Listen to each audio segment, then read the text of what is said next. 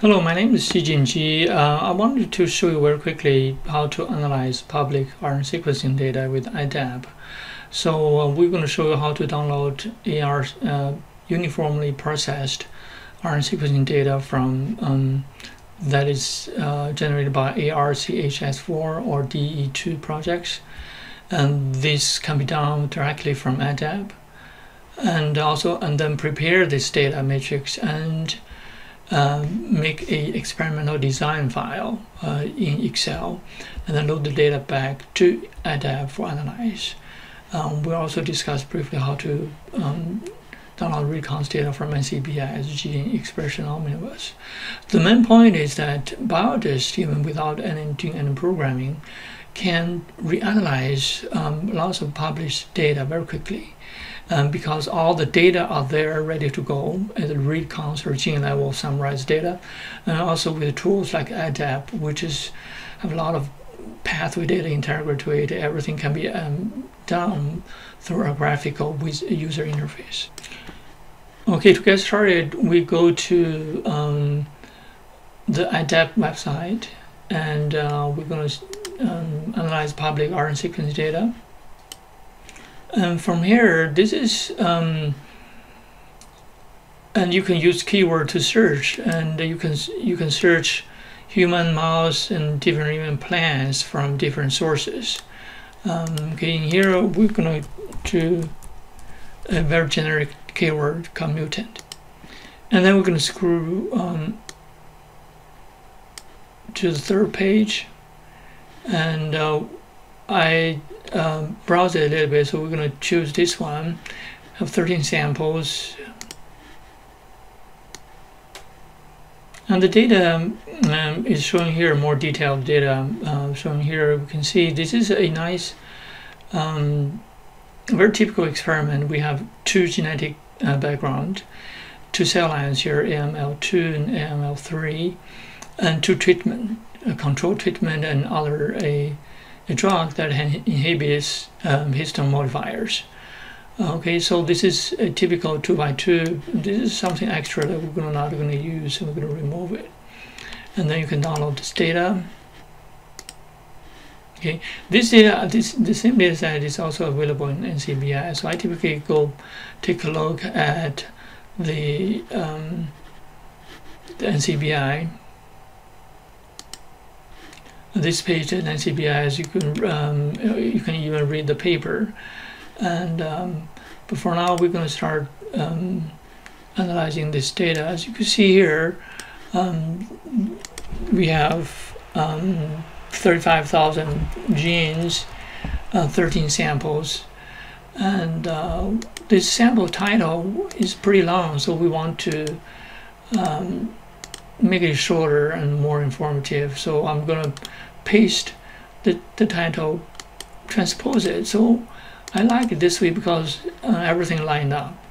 And, uh, and then we can uh, start to um, manipulate these, these files. And what we're going to do is now, first of all, we get rid of accession numbers. Um, accession number and, and, and, and there's a space in here between the accession number and the title. So anything I'm going to delete everything before space. As you can see, uh, they're deleted, they're gone. I'm going to remove the replicate, or this is extra that we, we know, so that is gone.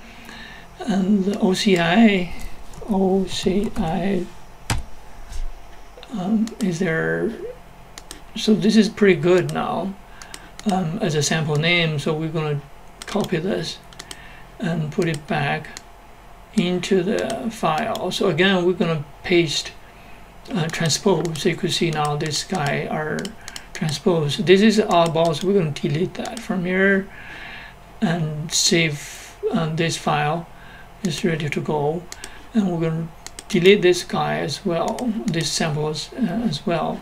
Now we start to down uh, to make the experiment design file. So the best way, there are many ways to do that. The best way I found is to just use the text column uh, split in here. So we're going to split by this underscore. As you can see, if we do that, this one column becomes three columns. Obviously, we're not using this one column. You can you can make this better. And this is a cell line, for example, line. This is treatment. Okay, and this is pretty good uh, now. And then we want to transpose um, it back to this orientation, and we're good to go. Um, we save this as a design file. A design file, I want to save it to a downloads design file CSV file. Okay. I think we're good. Okay. Go back to iDEP website and um, and then we're gonna load the expression data. Okay and then load the um, design file. Okay, the loading is done. As you can see, um, sometimes people get error messages when these sample names doesn't match between these two. Um, so I always copy sample names from one file and paste, paste it to another file. Okay, so we're ready to go in terms of analysis, um, and you can see we can um, see if there's any outliers in read counts and heat maps. So we're going to jump directly to uh, adapt a differential express. Okay, by default, um, it runs um, group by group. For example, we have four groups, so um, all the six kind of comparisons was done.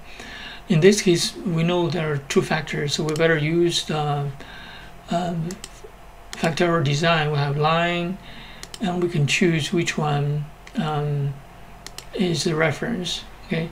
And uh, we can uh, look at the interaction term here and treatment. This is what de determines um, what makes more sense. Uh, so we're gonna this is control this is good. And okay it's done um, and then we can click close and this is the number of differentially expressed genes. There seems quite a lot of them uh, these genes. If it is big, you can feel free to adjust this, this criteria. And this is our model. Um, this is our model.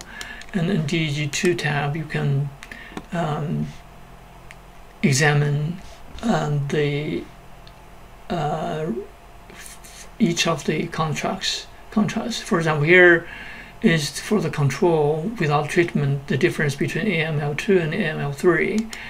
And this is the a difference between treatment versus control in the reference level of the cell line, which is ML3 in this case. And you can see there's a lot of different uh, expressed genes um, between uh, induced by the treatment.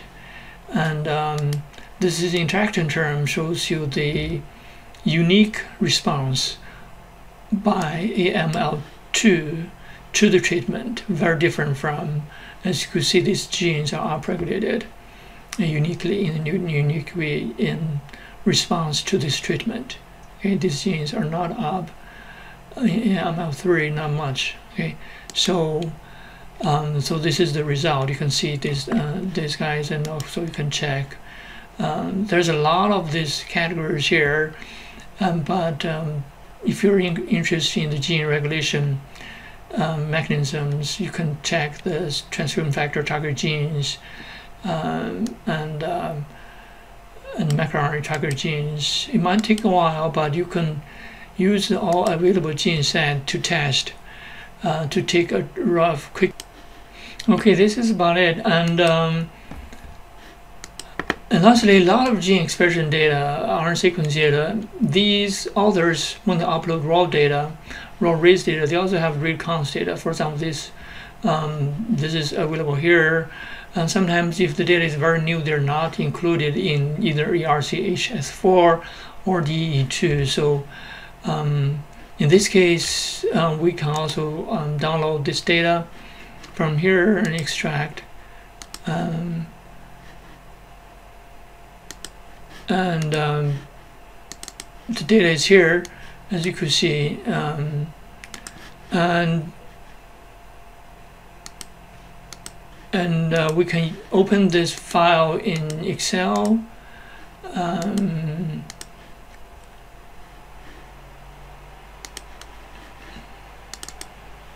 so all files and click here. And this data says this file is a little bit weird so if you use tab, delimit some um, separate some column but not others. Um, so space you can see separated pretty good. So um, so this is um, this is a file that we got from NCBI. As you can see, this is the read counts data, and uh, there's two uh, gene identifiers. Um, you can use either one. Uh, we cannot have both. Probably I would just use the NC, um, use the um, reference sequencing ID, but pay attention to these guys.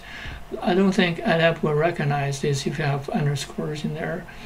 Um, but the rest is the same. You can um, copy this and uh,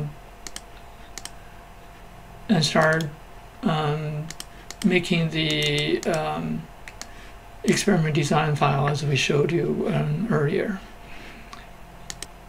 So one last thing. So as you can see, we have for this particular data set, uh, we have um, also have data from um, from NCBI, and we have we're using in. Uh, we also have data from DEE2. I did did notice that um, the read counts are very different, at least for the one gene that I examined for a shuttle gene. So these uniformly processed data, they might use in slightly different pipeline, also the reference genome might be a bit different. Okay, just pay attention to that. Um, but the but it's very easy to do. As you can see, I, I done this in 15 uh, minutes, and um, and I would encourage our users not only analyze your own data, but analyze some others' data and see um, maybe you can make some new discoveries, or sometimes uh, prove that the other people that did initial analysis uh, doesn't do things correctly as well. Um, all right, thank you.